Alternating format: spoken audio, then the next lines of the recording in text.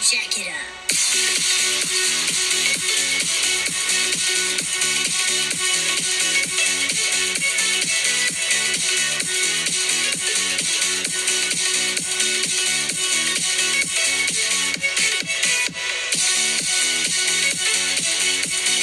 Get the best with Goth Tours.